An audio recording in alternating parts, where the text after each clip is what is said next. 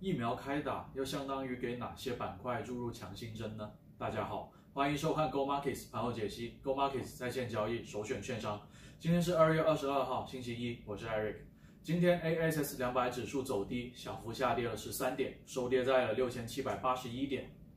在所有人都在谈论云云计算、新能源、五 G 这些未来的时候，依然有公司在默默的为人们提供更多的新鲜的蔬菜和水果，比如 Costa。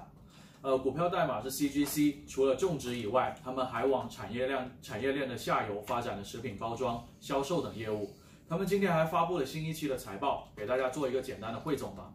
呃，营收上是上涨了百分之十一点二，息税前利润上涨了百分之四十七点二，净利润翻番，上涨了百分之一百零八点四。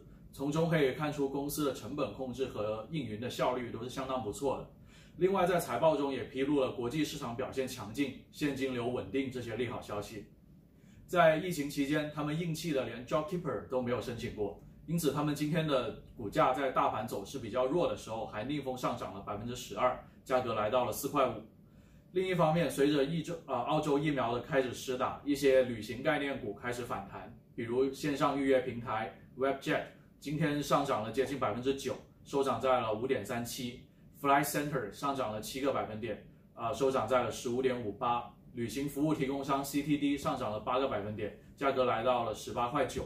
出行板块今天是给澳洲大盘很大的支撑的。比特币在周末的时候又是一顿暴涨，上一啊一度是上冲到了八万啊五万八千美金，但是从今天上午开始又出现了回调，现在已经跌破了五万六，现在在五万五千七百美金左右。